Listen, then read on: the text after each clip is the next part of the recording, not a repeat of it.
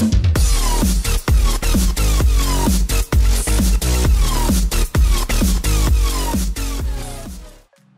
my name is James, and I have over four years teaching experience of IELTS.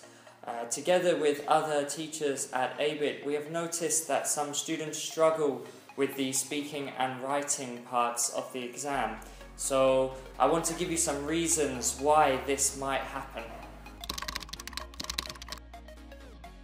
Okay, so the reason why you might have a low IELTS score, uh, well, actually, Vietnamese students have very good grammar and they have a lot of vocabulary, but it's knowing how to use that based on what the examiner wants.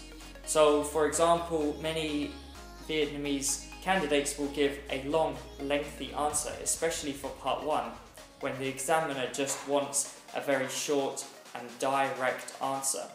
So, knowing how to use your vocabulary and use the grammar is very, very important for achieving a high score. So, what are the solutions? Well, I have three solutions for you.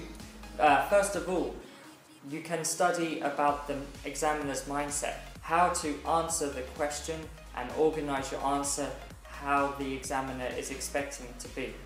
Uh, another thing is we can offer you face-to-face -face, uh, tutorials so you get a better opportunity to practice like you are in the real exam. And lastly, ABIT has many qualified and experienced lecturers who are trained to teach you about IELTS exams. So at ABIT we have 95% of our students get the band scores that they desire uh, and many of them get an 8.0 or higher.